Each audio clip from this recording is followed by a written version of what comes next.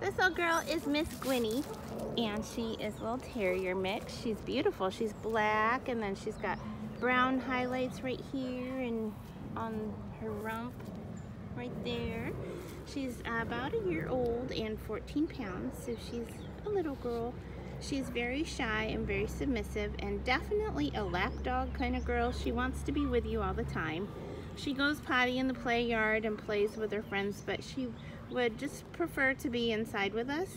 So she would make a nice companion for someone who wants a buddy, who, you know, you can bring her anywhere, hang out at Starbucks, or on your couch, watching Netflix, all that kind of stuff. Definitely is a people kind of dog. Very sweet girl. She is available for adoption, so if you're interested in this little lady, you can apply for her online at tracysdogs.com. Please make sure you can pick her up at our next transport destination before you submit your application. and once approved for her, we'd love to load her up on the bus so you could hold her.